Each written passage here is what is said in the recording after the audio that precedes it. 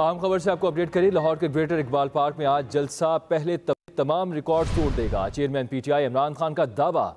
Social media पैगाम में कहा कि मैं जानता हूँ कि ये लोगों को जलसे में शिरकत से रोकने के लिए हर तरह की रुकावट डालेंगे, लेकिन अवाम अपना बुनियादी हक इस्तेमाल करें और इस तारीखी इज्तम में शरीक हों।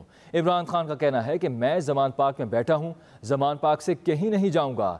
जिसने उन्हें मारना है, आकर मार दे। चेयरमैन पीटीआई ने दावा किया है कि जुडिशल कॉम्प्लेक्स में उन्हें मारने का प्लान बना हुआ था। अगर जीआईटी बनानी है तो चीफ जस्टिस के नीचे बनाएँ।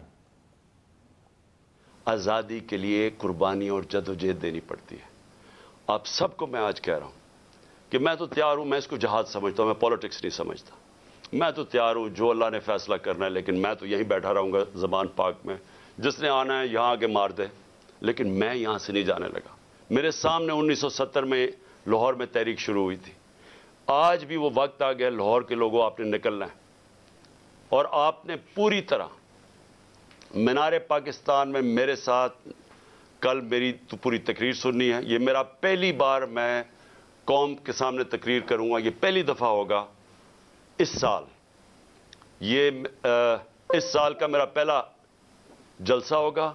इसमें मैं चाहता हूँ कि आप भरपूर तरीके से शिरकत करें और आप जो मैं आपको रोड मैप देने लगा हूँ हकीकी आज़ादी का और हमने कैसे अपनी माशत को इस दलदल से निकालना है आपने सबने आके और उसमें शिरकत करनी है।